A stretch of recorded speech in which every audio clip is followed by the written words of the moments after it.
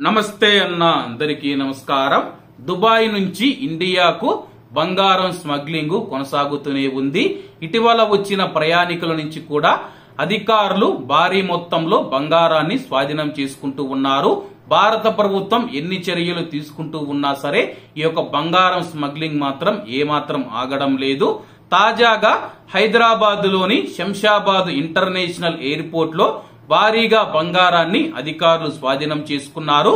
హైదరాబాద్ ఎయిర్పోర్ట్లో కస్టమ్స్ అధికారులు తనిఖీ చేస్తూ ఉన్న సమయంలో బంగారాన్ని పట్టుకున్నారు. మూడు వేరువేరు విమానాల ద్వారా దుబాయ్ నుంచి హైదరాబాద్ చేరుకున్న ప్రయాణికుల వద్ద నుంచి రెండు కోట్ల తొంభై లక్షల విలువ చేసే బంగారం ఉన్నట్లు అధికారులు గుర్తించారు. దీంతో ముగ్గురు ప్రయాణికులను విచారించి బంగారాన్ని స్వాధీనం చేసుకున్నామని చెప్పి కస్టమ్స్ అధికారులు తెలిపారు. అలాగే వారిపైన చట్టపరమైన చర్యలు తీసుకుంటామని చెప్పి అధికారులు వెల్లడించారు.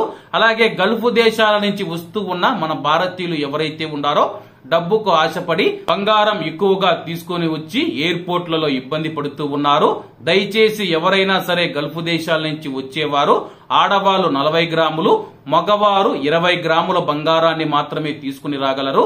అంతకు మించి మీరు ఎంత బంగారం కేజీ వరకు తీసుకొని వస్తే దానికి మీరు పన్ను అయితే చెల్లించవలసి ఉంటుంది. పన్ను చెల్లించకుండా అక్రమంగా మీరు బంగారాన్ని తరలించే ప్రయత్నం చేస్తే అరెస్ట్ అయ్యే అవకాశం కూడా ఉంది కాబట్టి యుఏఈ మరియు ఇతర గల్ఫ్ దేశాల నుంచి ఇండియాకు వస్తూ ఉన్నవారు ఈ విషయాన్ని గమనించగలరు. కాబట్టి అందరూ బాగుండాలి ఎందులో మనం ఉండాలి. అందరికీ నమస్తే అన్న. జై హింద్.